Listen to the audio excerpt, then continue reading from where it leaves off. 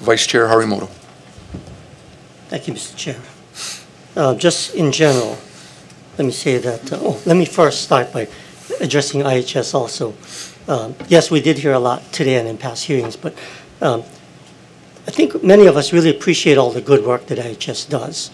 Um, You know, the fact of the matter is that it's not a one-size-fits-all. So I know that IHS has helped many, many, many people, and they do good work. But it's not for everyone. So I think we're hearing some of the other side um, can't satisfy everyone. So I just wanted to start by saying that. So thank you, uh, Connie. Uh, But beyond that, if this committee and council is going to move something forward, I really would like it to, to be Bill 42. Just addressing the various iterations of, of the sit-lie bill. I really understand the reason why the mayor proposed starting with Waikiki, and I fully concur with that. Um, So I hope that we can have that full discussion uh, in a while. But let, me- let me just say, I'm going to pull out my, my notes from the past three meetings, or maybe four meetings, I lost track, about why I'm not supporting any of these sit-lie bills. I just cannot support these bills. But again, if we are to move something forward, I hope that it will be just Bill 42 with some future implementation date. um, But we'll see. But anyway, I'm going to go through some of my statements that I made many times before, and um, I feel that we're getting close to the end, and I really need to say these again. So pardon me, I know you've heard it all before, but um, this is important. So my notes are getting kind of worn here, but, uh, so let me say again, I think we all understand there is a problem. I don't think any one of us sitting here is going to say there is no problem. There is a problem. But I think we disagree on what the solutions are. Um, And again, you know, this problem didn't develop overnight. I think we heard the managing director admit that. You know, we all understand, these problems have been around for decades. The homeless situation has been allowed to go unaddressed for decades. And it's gotten to what some people call a crisis. And be that as as it may, now we're faced with some actions. But because in my opinion, perhaps government has failed over the past many, many decades to address this. Why is it that we're looking for an overnight solution? I, I just don't understand that. It's a very complex situation, very difficult. There is no simple solution, but yet we're pr- proceeding and proposing um, like it's an overnight solution, and it's not. Making a law like this is not going to solve the situation. It is not. I think sometimes as elected officials, we, we look for these quick fix kind of things to do to say, yes, we've, we've done our part. Um, but I truly believe this is going to make the situation worse. It, this will exacerbate the situation. We've heard from HPD that their intent is not to arrest people, and I, I give them that. You know, their intent is not to, but the reality is that's what the law says. They will cite people sitting and lying on the sidewalks, of course, after they've been warned.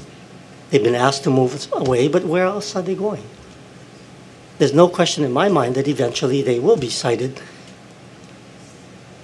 They'll go to court. They have no money to pay the thousand dollar fine. They're going to end up in jail. How does having a criminal record now help them? I just don't understand this. I really don't. We, we've all talked about housing first. I think there's total agreement that housing first is the answer. We've heard it from the managing director, we've heard it from almost everyone. I don't think I've ever heard someone who say that's not the answer. So if we have agreement, housing first is the answer. We have agreement that there's a problem. We have agreement that we need to do something. I- just don't see the pieces adding up that now we're trying to make a law to say you can't sit and line on the sidewalk. If we're going to do that, as I've said many times, let's do it after we have housing first in place. I, I just don't understand why we're doing the law to make it a criminal offense before we have the solution that we all agree on. It's just beyond me. We have this, the Interagency Council on Homelessness. Finally, after all these years, finally, we have the state, the city, all the providers working together.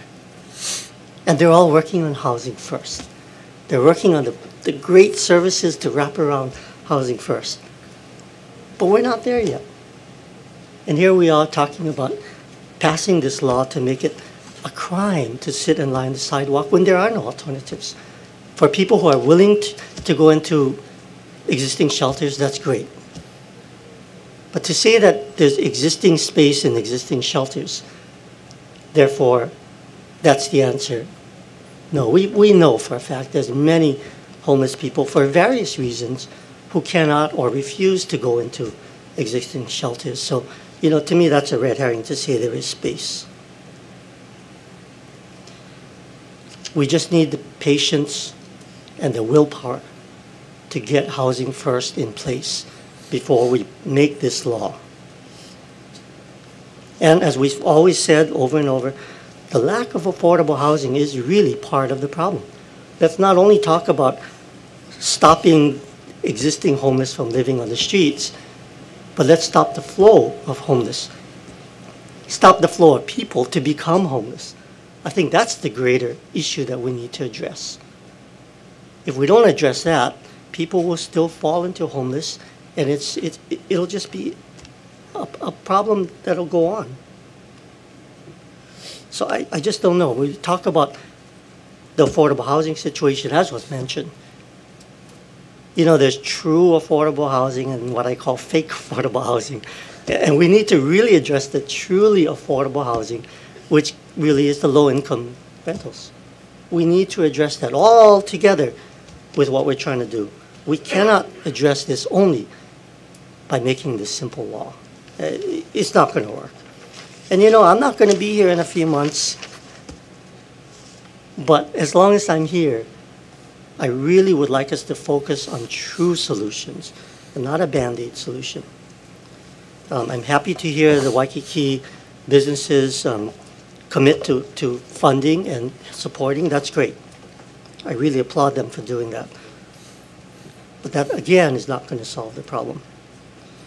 And, and, you know, finally, I just get the sense that because of whatever's happening, we somehow lost the feeling that these are real people. You know, these are real people that we're talking about. And it's just too easy to say, we'll just pass this law and, you know, it's out of sight, out of mind. These are real people. We've heard from some of them. I've, I've been out to, to visit them. I've seen a lot. These are real folks who are suffering. They're not homeless by choice. Yes, and perhaps they need, they need a little nudge, they need some support, they need some help. True, all true. But if we just pass this law just by itself, without having housing first, without having the wraparound services, nothing will change. And, and this whole notion of, of this tent city or interim solution, whatever you call it, that's just a pressure release. You know, again, we've done something, the pressure's off, and how long is this going on? Where's the pressure now to really come up with the, the firm, permanent solutions of housing first and affordable housing? I just feel that's, that's a wrong direction for us to take. So I don't know, you know, I personally, I think we all have our own reasons to vote whichever way we do. But for me, you know, my faith guides me. My faith tells me this is wrong. My moral compass tells me this is wrong. And I cannot support this. So thank you, Mr. Chair.